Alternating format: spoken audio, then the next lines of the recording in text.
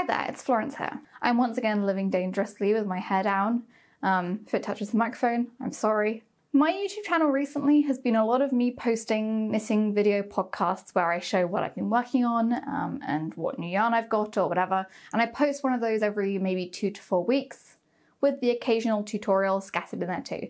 But I do really enjoy making the occasional special episode where I talk about something slightly different, and that is what today's episode is going to be. I really like watching these videos where people show what yarn they have in stash, particularly if it's somebody who I know has quite similar taste in yarn and projects to me, because it's interesting to hear their take on the yarn, being able to hold it in their hands. Maybe they have colours that I find out I'm really interested in. And so today I'm just going to be showing the yarn that I have in my flat. Maybe it's not everything, I'm not the most organised, but I think this is kind of everything that I could find when I was sitting down to film this. Also, this is only going to be showing full sweater quantities, top quantities, sock quantities of yarn. I'm not going to be showing any of the leftovers I have from previous projects. Those are in another box that I have over there. And I do have some ideas about what I'm going to do with that, but yeah, that's not what this video is about. Before I jump in and show you guys what yarn I keep in my flat, um, I will quickly mention what I'm wearing. I've had a bunch of questions about this one lately. This is called the Fennel Seed Jacket and it's a pattern that I had tested quite a few months ago and I have been really procrastinating on getting the pattern done um, after the test knit finished because it's one of those patterns that needed a little bit of extra work between the test knit finishing and publication. As of this video going up today, this pattern should be available. Um, I will link it in the description. I will try and link, well, I'm realizing now what a large task linking all of this yarn might be, um, but I'll try to at least list what most of the yarn is or put it on the screen somewhere so that it's easy for you to find if you're interested in any of it. And since we are talking about yarn, I will mention this uh, cardigan jacket is knitted in heavy merino and soft silk mohair, both from Knitting for Olive. I don't know if I even have any heavy merino in stash. There's certainly a lot of Knitting for Olive mohair, um, but it is one of my favorite yarns. The color is fennel seed. It is one of my favorites. I definitely do recommend it.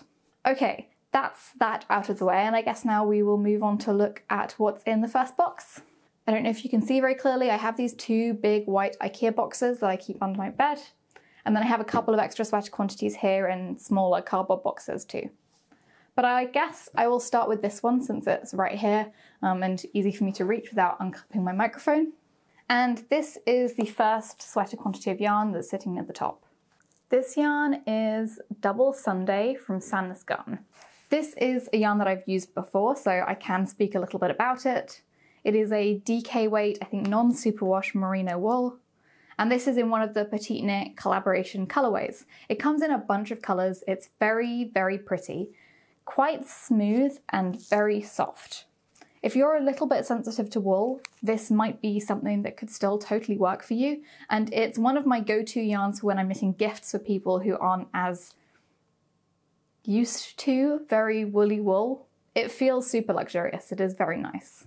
I also do feel like the price of this yarn is quite reasonable. I think it's about six pounds or so per ball, which really isn't the end of the world. Although the yardage is not a lot, 108 meters per 50 grams. This color here is, I think it's called Cardamom, but it's color 3821. And as I said, it's one of the Petite Knit collaboration colors. This yarn is used in a bunch of really popular patterns. I think there are a lot of Petite Knit patterns that use it off the top of my head. Uh, the Marseille sweater definitely uses this. But since it is just a DK weight merino, um, you can use this for anything, which is why I think I bought it without too much of a plan, and I do just keep it here in stash. I think I have enough to knit any jumper that I want. So this is one of the things that I have the fewest plans for. This might end up being something original. I might follow a pattern with this. I really don't know. But since it is just DK weight, I know that I can use it for a lot of different things. And so I'm not really stressed about it. Yeah, this is like guilt-free yarn for me to uh, own in my stash.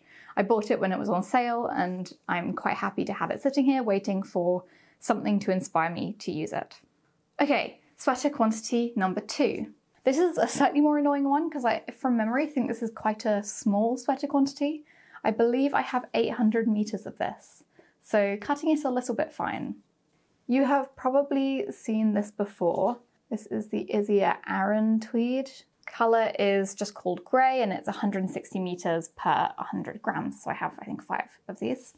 This yarn also comes in a sort of fingering weight version, which gives a very similar look, and that is very popular. But this Aran weight one has always been particularly beautiful to me. I don't know if you can see in the light grey, it has flecks of like dark grey, paler grey, and also a really golden beige colour. I don't know if my camera wants to focus on this yarn at all, but it is really beautiful. I feel like on camera it just shows up as grey, but it's a very lovely grey. And then I will show this at the same time because I bought them together to hold together for a project. This is the Isager Alpaca 1. This is in the colour E2S, which is a light grey. I think they will work really well together. I really like this yarn. I've been using it a lot recently. I feel like it's not that mohair is going out of fashion, but I definitely feel like a smaller proportion of the patterns being released nowadays use mohair. I feel like the trend is not uh, going quite as strongly as it was a few years ago. And if you don't want to use mohair, this is a really great option. It is lace weight, 100% alpaca, so it can just help slightly bulk out whatever yarn you're using, but it is very affordable. You get 400 meters per 50 grams. I want to say these cost about seven pounds, so they're sort of cheaper than a ball of mohair, even before you get to the fact they have almost double the yardage as well. I am sometimes sensitive to alpaca, but I've never had a problem holding this with something else. And I do have, I think, a few pieces that are made with this yarn held with something else. In terms of a plan for this, I actually bought this when I first came to Oxford. So I think I came to Oxford for a job interview for a job that I ended up getting and is now my current job. And after the job interview, before my train, I had time to sort of speed walk to the Oxford Yarn store, and I was feeling really happy with how my job interview had gone, and so I treated myself to this yarn. It was quite exciting at the time because there isn't Isager in any yarn shop near where I used to be living in Cambridge. And so it was very exciting to be able to see and touch everything. But now that I live in Oxford and this yarn shop is a walk away from my flat, um, it's much easier to access this stuff and so it's a bit less exciting. So I had some ideas for an original design. I don't know if I will end up um, actually turning that into anything, but I am currently working on a pattern for the step-by-step cardigan. You might have seen it, I have one knitted in Noro Madara. It's currently in testing and I need to sit down and edit the tutorial video that will be going along with it. I think that in terms of quantity and thickness, this yarn might work really well for that. And I think that because this tweed is so pretty, I think a very plain stockinette garment would really do it justice. So maybe a step-by-step cardigan would be a good move for using this yarn. I can knit one of those up in like a week if I'm not working, or well under a week even. The step-by-step sweater, both of them I knitted in four days. So at some point, I guess I will uh, sit down and spend some time working on making something with this yarn, because it would just be such a good wardrobe staple that I know I will wear all the time.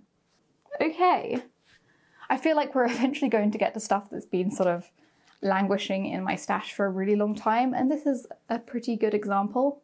I've had this for a year or two probably. It's a little bit of an example of a yarn not looking quite how I expected it to when I bought it online. This is Noro Silk Garden Sock Solo. I think this is another one where I have to get up close to show you what it looks like because showing it from a distance doesn't do it justice. It has a lot of other colours in it. Neon green, baby pink, brown, all through this blue. This is a very popular yarn and if you have seen people using it then you've probably seen the colour number one. I think it's called SO1 or Omitama and it's sort of a greyish colour with a lot of rainbow flecks in it. I have used that colour before to knit a jumper and I wanted to use it again but that colour was really hard to find in stock.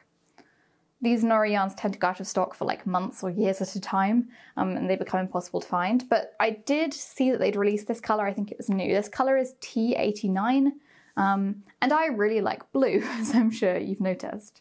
So I did pick up a sweater quantity of it. Now, this is quite a bright colour for me. I don't tend to wear very vibrant blues. I don't tend to wear these sorts of teal blue colours either. And so um, it's definitely something that I find a little bit intimidating. I saw somebody knit a petite knit terrazzo sweater in this yarn, um, held with this exact mohair, on Ravelry, and that was, I think, part of what prompted me to pick it up. The mohair that I got to hold with it is Knitting for Olive Soft Silk Mohair in the colour Dusty Delft Blue.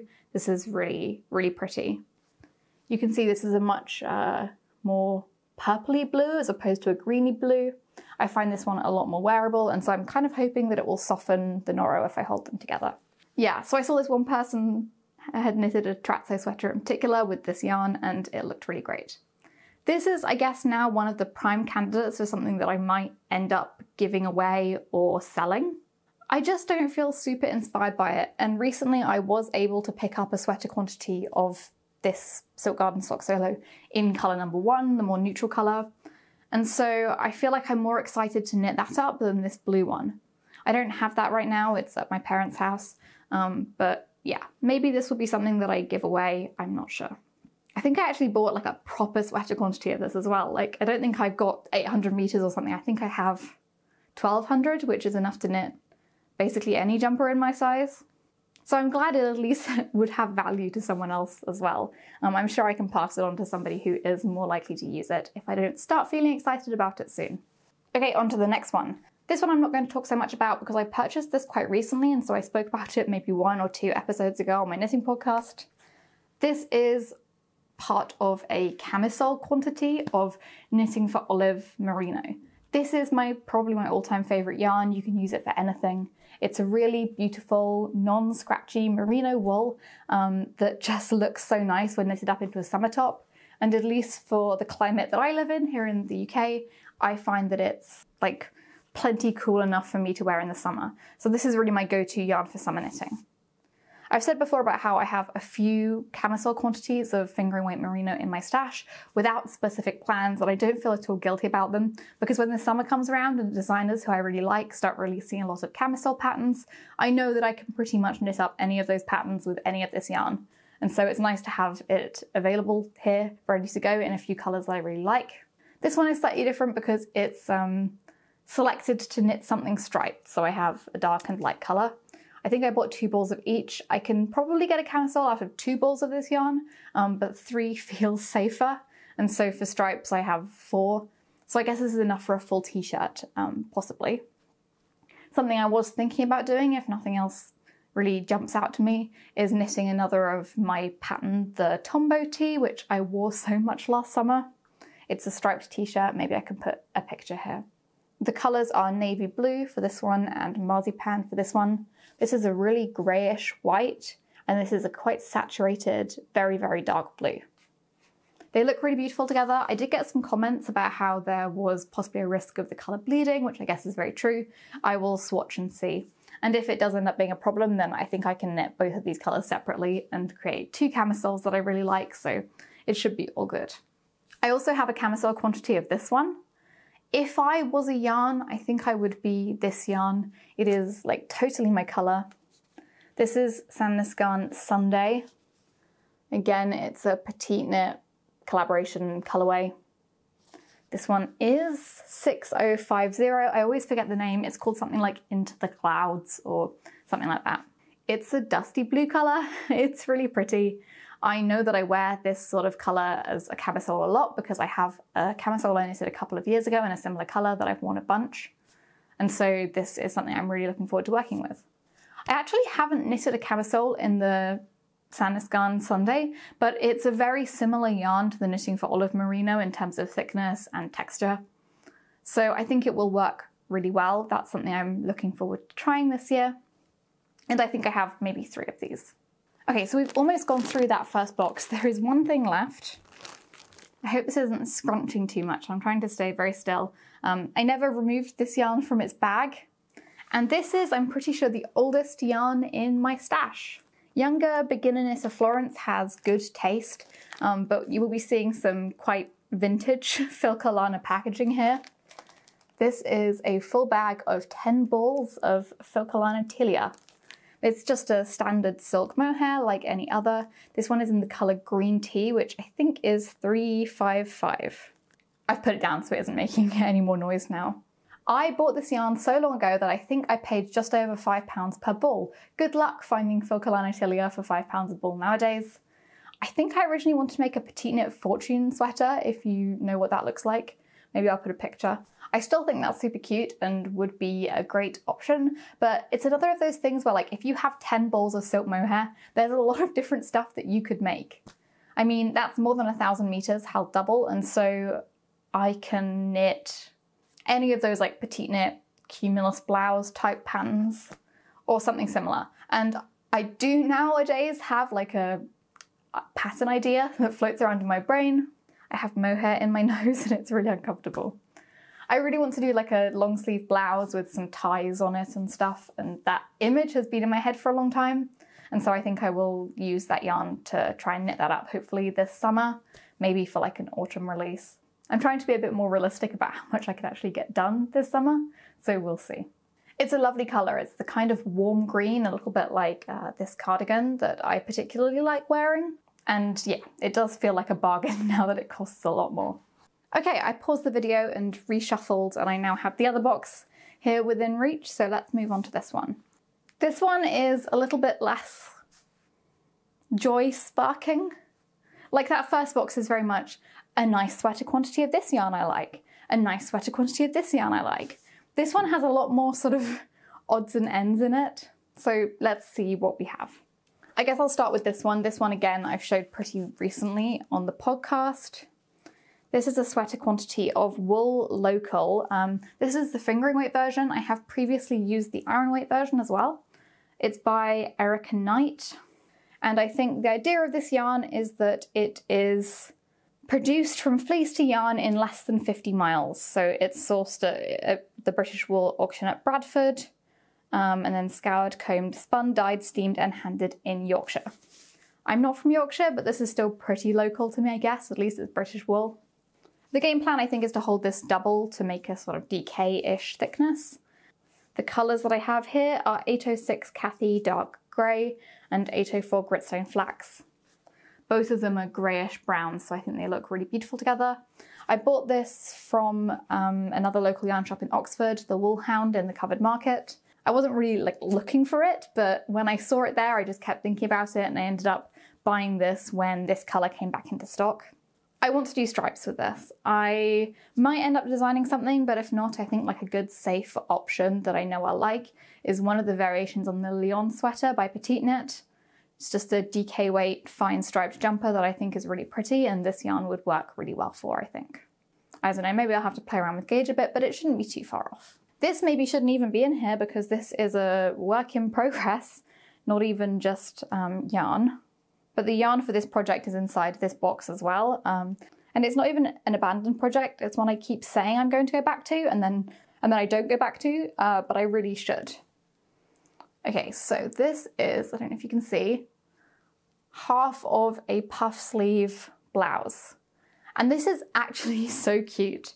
Like, I knitted this a long time ago and I still think it's beautiful. It's definitely something I could see myself wearing a lot. And I guess this summer I should probably just hurry up and finish it off. I think uh, I need to go down a needle size to do this I-cord edge around the neck. And so I have to take it off and redo it. And that's the sort of thing that my ADHD brain just hates doing. Like going back and modifying something I've already done, it's the worst. I hate it. But yes, you can see it's got puff sleeves. These are still on hold, like they will be longer. And it has a keyhole at the front here, a keyhole with like um, some slightly scrunched up I-cord ties to try and put it away in a state where it's like easy to go back to. Aside from the fact it's really cute, the other reason I'm like, I definitely need to go back and carry on with this is because the yarn is really special. This is Cardiff Cashmere Brush Light. Color is 119, I think it's called Mose or Mose. I've used it to make a pair of gloves in the regular cashmere before as well. It is 82% cashmere and 18% silk, so it kind of has a similar construction to silk mohair where it has a silk core and then cashmere through it instead of mohair. But this is uh, not as fluffy. It does have a really beautiful ethereal look to it. I don't know if you can see. And that colour is so pretty. Yeah, there's nothing not to like about this. I just really don't want to pull out that I-cord, but I guess I should go back and do it. Get this blouse done.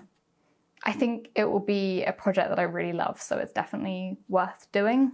I will have it done by the end of the summer. Okay, on to the next one that's just been languishing in stash for so long. If I'm tapping my face, it's because mohair is sticking to my foundation and then my whole face is itchy. Filming this video feels like an endurance sport. Okay, um, what do I have here? Oh, uh, I have here an ad. This yarn was gifted. I don't think any of the yarn I've showed prior to this point was gifted. Um, I will definitely go back and annotate or change the video if, if it was. Uh, but I feel like I should mention this yarn was gifted. This I got at the shop opening for my ivory room, which is a yarn shop that I speak about all the time. Back when the shop opened, I went to the opening event, which was an amazing experience. There was really nice free food, a lot of beautiful yarn to look at and buy, and we got given these amazing goodie bags full of yarn treats as well, and it was all free entry, so I'm so glad I went to that. Anyway, um, Valentina wanted me to design a pattern for the shop, and at the time we picked up this yarn. The idea was I was going to do a cable jumper, and then later on I think she decided she didn't want to stock this yarn anymore, so this idea got like cancelled. But I still have this yarn and I still want to design the cable jumper, just it would be like a pattern for my personal store rather than a pattern for her store. I will get this pattern done for this winter. I'm promising this to myself because I've been wanting to knit it for ages um, and I still think it would be totally beautiful. The yarn that I have here is BC Garn Similipura. I haven't used this before, but it is totally beautiful. You are not going to be able to see this on camera at all, but it, it is cream wool and it has little grayish or like black flecks in it. Not like enough to call it a tweed. It's just one of those yarns that is almost a very pale grey and the grey colour comes from there being different coloured fibres in the yarn rather than like it being dyed flat grey. I don't know the technical terms for any of this, um, but it is very beautiful and I think I've mentioned before I get quite intimidated knitting or wearing cream, and these sorts of slightly interesting creams are less scary for me to wear. To go with that, I have this. This is Marjo Garn Pearl Mohair. It's a regular silk mohair. Um, this one is in the colour Ivory. I've used this yarn in this colour actually um, to knit a cardigan before. I really like it. I don't like it as much as some of the other silk mohairs I've tried, like the Knitting for Olive or Isager, but this is actually, I think, quite a bit cheaper. So I do recommend this as a sort of middle ground for affordability versus quality, something that's a little bit nicer than drops, but not as nice or as expensive as a lot of the other options. Yeah, it's a good mohair and I do like it a lot. Yeah, this is going to be an asymmetric cable jumper. You might have seen sketches of it um, on my Instagram. I need to get on and knit it because I'm really excited about it. I truly think this could be my favorite jumper in my wardrobe if I just get on and do it. The problem is like starting a design is a lot of effort, particularly if it's cables, because I have to do a lot of thinking and a lot of charts before I can sit down and start knitting. And when I cast on a new project, I really just want to get going. So um, it's a tricky thing to motivate myself to do, especially now that summer is coming and I should probably be focusing on summer patterns. But yes, I really do want to get going with this. What else do we have in here? Oh yes, this is a nice one. When I found this yarn, I really thought like I had found this amazing secret that was going to change my life. Cashmere yarn is really expensive, and I think a pretty standard price for cashmere yarn is about 15 or 16 pounds for 108 meters for the sort of sport weighty uh, or like DK weight Cardiff Cashmere Classic, uh, Lang Cashmere Premium. You're going to see all these yarns later in the video. I really like cashmere. This, on the other hand, is, I want to say, 14 pounds for 200 meters. Something like that. So it is quite a good deal. This is a little thinner. It's uh, somewhere between like the Cardiff Cashmere DK weight and the Cardiff Cashmere fingering weight. It's like a more substantial fingering weight, I guess. But yeah, it's a great price. It's 97% recycled cashmere and 3% recycled wool. And this is not from a yarn company, weirdly enough. This yarn comes from Skall Studio. I don't know if you can see. I don't want to like say any lies about this brand. So my understanding of it is that it's a Danish clothing mostly brand. They do homeware as well. They are like a real guilty pleasure clothing brand for me. It's a little bit expensive, but I have like blouses, t-shirts. Almost all of my tote bags um, that I use are also from Skall Studio. And they sell a lot of very nice Danish wool knitwear. Um, and then something that they do, which I think is really cool, is they also sell knitting patterns for a lot of their knitwear. So I was looking at these knitting patterns and I found out they also sell cashmere yarn in two colours, brown or grey. They're the only two available. You'll notice uh, later on in this video that I own a lot of grey cashmere, so brown was the obvious one to go for. I have bought this before, I knitted a scarf in it, and then I liked it enough that I went back and bought this. I think I have four balls, so 800 meters. And my game plan for this, which has been my game plan since I bought it, is definitely this time to knit another Tombow tee. Uh, striped t-shirt pattern that I released last year. But I'm just going to knit it in one colour, just to have a brown cashmere t-shirt that I can throw on during the summer. Maybe cashmere isn't so much of a summer fibre, but like, yeah. A lot of the summer, the UK isn't unpleasantly warm, so I think it's totally fine. And I just think it could be a real wardrobe staple, also something that you could throw on underneath a jumper in the winter to keep it a little bit warmer, even. A really versatile piece, and I look forward to knitting with this yarn. It's just really nice, it's really soft, it's a joy to knit with. I wish Skall Studio sold more yarn, um, but they don't.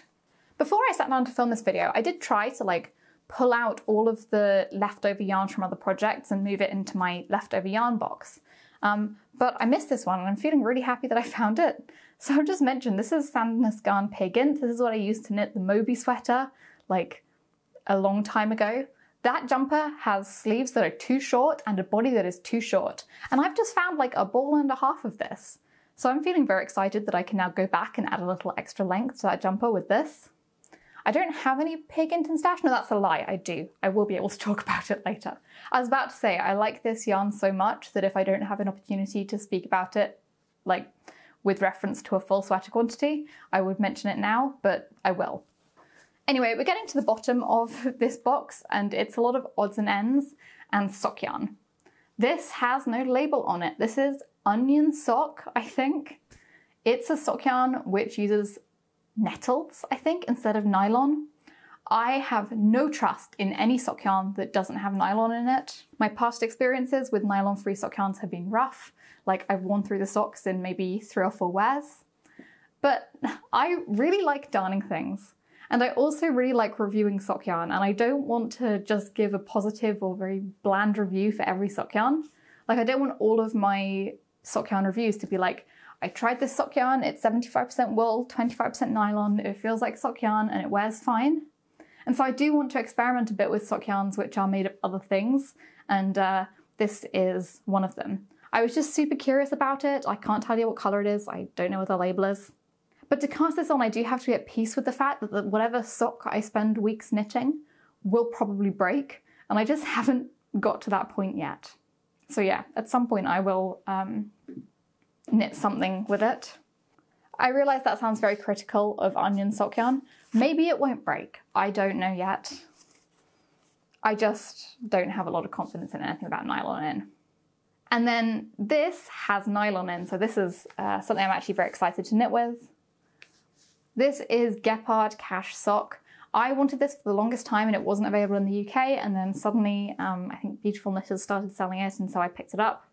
It is 70% merino wool, 20% polyamide, and 10% cashmere. So the bad news, I guess, is that it's one of those yarns which sells itself as being a cashmere, like cash sock, even though it only has 10% cashmere in it. The good news is that it has a like good amount of polyamide, and so it is probably actually strong enough for socks. I always wonder if like the strength of the wool makes a difference, and I think the wool that's used in sock yarns like this with 10% cashmere tends to be very soft as well. So we'll see how it um, holds up. But I think this is super pretty. The color is 102. It's the kind of color that I just wear a lot of socks in. And it does feel really soft and really good. I think this color would look really great for a sock with lace or cables. Again, I don't have a specific plan, but that's fine. I knit a lot of socks with lace and cables, and so this will have an opportunity to shine, I'm sure. Is there anything else in here? I don't think so. I think we went through everything. Cool, that's the second big box done. On to odds and ends in small boxes and bags. Okay, these two. I have to be careful not to dox myself because this one has my address on it. Love that for me. These two are the same but different. Um, both of these are a sweater quantity of light grey DK weight cashmere. Also, add yarn sponsored. This was gifted by my Ivory Room. Again, the yarn always comes beautifully packaged, so I haven't thrown this box away. And here it is. This is, I think, eight hanks of Gepard Eco Cashmere. This yarn feels so good. I'm going to show you in a second the Cardiff Cashmere Classic, which I also have a sweater quantity of. This just feels so much more substantial. It's less fluffy, um, but it's still really soft. It's made of a mix of new cashmere fibers and recycled, unused 100% cashmere products from the Italian textile industry. And this color is 506. This is pricey yarn. I have wanted this for a really long time um, and I've never felt like comfortable spending that amount of money on a sweater quantity of yarn. And then Valentina just gifted it to me out of nowhere around Christmas, which I was so grateful for. Like the parcel just arrived at my house and I was like, oh my goodness, this is probably the most exciting sweater quantity of yarn I've ever had. I did read the instructions for this yarn, which say you're supposed to steam it before you start using it.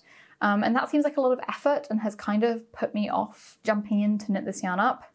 I did ask about it in a podcast and I got a lot of comments saying that other podcasters have steamed this yarn and said it made a really big difference. So I probably should. What I was thinking is like, does it really make a difference if I knit the jumper first and then steam the finished jumper? I almost feel like if I do that, it's easier to make sure that you're steaming every part of the jumper and like getting all the yarn. I don't know, maybe that will be the move. Maybe that will be what I end up doing. It is already fabulously soft, even unsteamed. Yeah, I love this stuff. Um, obviously, I haven't knitted with it before, so it'll be my first time, but I'm so excited to. And it comes in a lot of beautiful colours, so I think this might be a yarn that I reach for more in the future. I'm very lucky that my hobby pretty much pays for itself now. Um, well, I mean, it totally pays for itself thanks to like this YouTube channel, whatever. So I can afford to buy yarn like this if I want to. And uh, if I end up enjoying this as much as I think I might, I might end up picking up some more to make some winter accessories next year. I think a matching hat and scarf in that yarn would be amazing. Oh, in terms of plans for this, I don't really have any. I made a zipper sweater as a gift before, and Valentina said when she gifted this to me that she thought I could make another zipper sweater for myself this time with this uh, sweater quantity. I don't know if I want to do that. Uh, I might, that is a possibility, but I feel like the zip is kind of a like weighty and awkward thing to put into such a soft cashmere yarn. I almost want this to be like a pure stockinette plain jumper that I just totally treasure. The danger with that is it might end up being too similar to what I plan to make with this. This might be the next thing I cast on, actually. Um, I might cast this on today. I'm torn between a couple of options. I want to cast on a new design today. I've showed this on my podcast before. I bought this for myself uh, when I was job hunting after uni. I said that like I wouldn't use it until I had a job and then I'd knit myself a jumper for the office. Well, I shortly afterwards got a job, um, but I work at a sort of jeans and t-shirt office, so there's no need for me to have an office appropriate jumper. With that being said, I would still definitely wear an office appropriate jumper to the office. So my game plan for this, what I want to do with this is I'm going to design a Tombow sweater Basically, I really like the Tombow tee, which I've mentioned too many times this episode.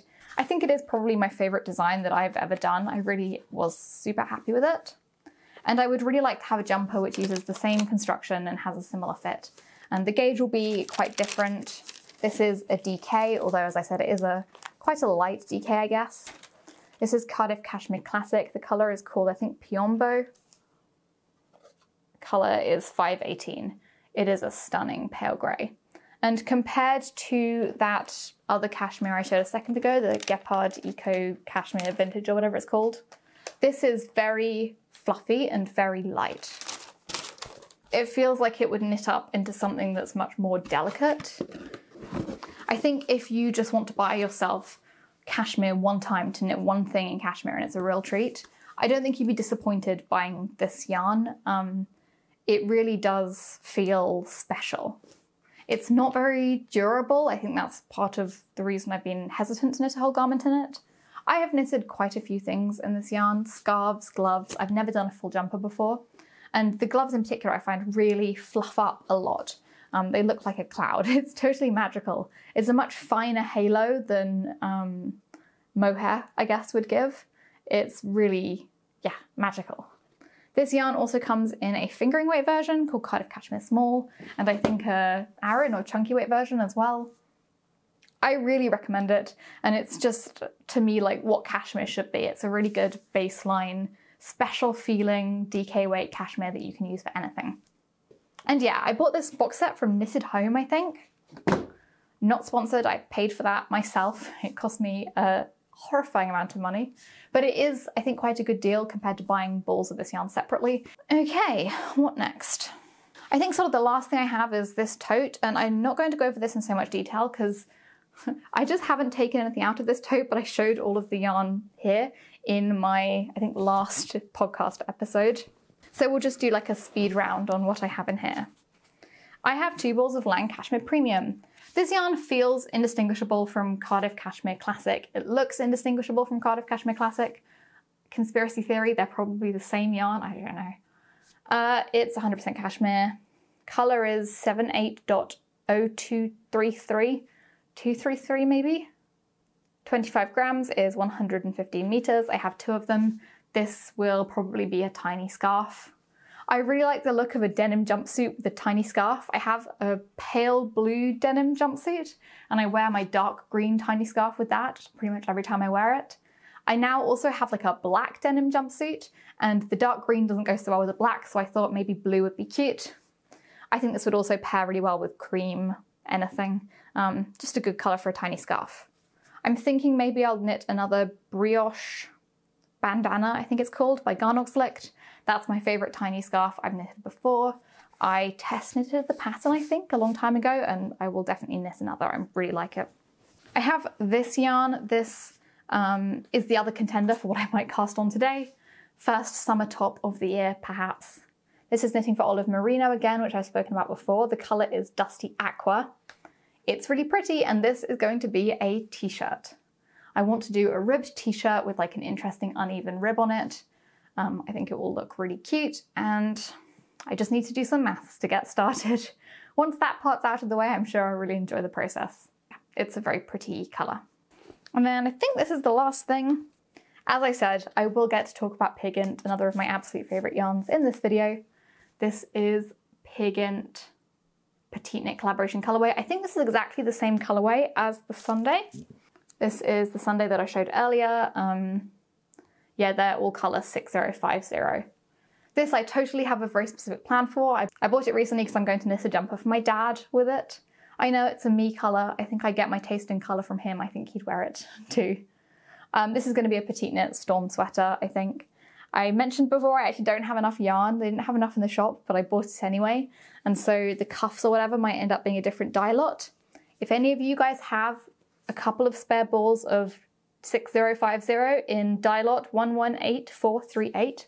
Let me know and I will buy it off you. Yeah, this is a 100% I think Norwegian wool. This wears so well. It's not super soft, but I don't find it to be uncomfortably scratchy. I can wear it against my neck with no problem. I have a pretty good number of jumpers knitted in this yarn and it's one that I just keep going back to. It's really cheap. I think it's about four pounds per ball. It comes in a lot of beautiful colors. It's that sort of very standard DK weight that you can knit up into pretty much any pattern. Um, it's just a joy to use. You can splice the ends. Um, it feels really substantial. Excellent yarn. I really, really like it. I think these two, the Knitting for Olive Merino and the Peer Gynt, these are like the staple yarns in my collection. This one for winter, this one for summer. I really can't recommend them enough. And I'm sure if you watch knitting podcasters, you've heard all of this a million times before. But yeah, I just, I love them so much. I'm realizing now that I definitely have at least one more sweater quantity that I don't know where it is, but should have been in this video. Should I have a look for it? Maybe a quick look. I'll be back. This video is going to be so fun to edit. I'm all over the place, remembering I have more yarn in different places.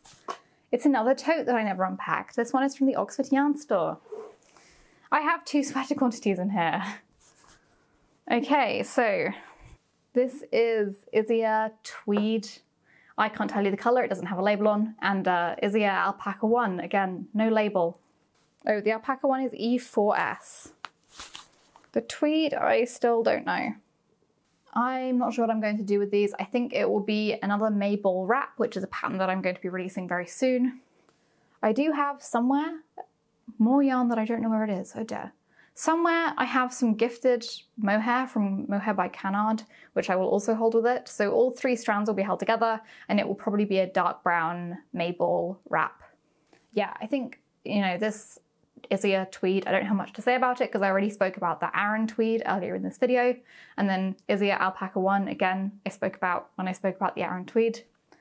This is just like a light fingering weight version, I guess. Really nice yarn, um, something I'm definitely looking forward to using. And then the last sweater quantity is going to be the hardest to show. I feel like for everything in this video, I've just grabbed one or two balls to show you, but this final sweater quantity is a pain because every ball is different. I think I showed these in a previous podcast episode as well, actually, um, but this is my Isager Variety sweater quantity. I just really wanted to do a sweater quantity where I just hold together a bunch of different yarn in different colours. And so I went to Oxford Yarn Store, which stocks a lot of different stuff from Isager, and I just picked out loads of different fingering and lace weight yarn to try. There's a couple of these Isager Tvinni, Alpaca 1, as I mentioned before. This is Isager Highland Wool, again, like a, let's say, a very light fingering weight wool. Isager Silk Mohair, this stuff is amazing. I'm amazed I didn't have any in stash. I guess I normally end up using it for sort of sponsored test knits. I don't tend to buy it for myself. But it's the softest mohair I've used for sure. What's this? More alpaca one. Oh, this is Spinni. It's like a single ply. There's probably more, but you can see it's like a grey and dark green selection of all different yarn from Isager. That's another one I'm actually super excited to cast on. I think it will be really beautiful and a lot of fun to just sort of let go and uh, use the colours to create a really natural looking gradient. Okay, so I think that's it. Obviously, I'm not sure that's it, uh, since I at least don't know where the Mohair by Canard is, and I definitely have that somewhere. But yes, that is everything that I could find for this video. There is a lot of yarn here. I think I could probably knit for a year. Maybe about a year. That's probably quite a good estimate with the yarn that I have. Um, but I think as long as I keep using it up at about the same rate that I'm buying it and being gifted it, I think I'd be happy with that. I find it really inspiring to have this yarn around, um, to have projects ready to go that I'm really excited to cast on. I feel like it helps motivate me to finish the projects that I'm working on so I can start something new. And uh, my yarn just brings me a lot of joy. I love wool, I don't know what to say. Thank you very much for watching. I hope you found this interesting, a look at what I have in my flat. I will be back in soon with a proper knitting podcast episode for those of you who enjoy those more. Thank you very much for watching, and goodbye.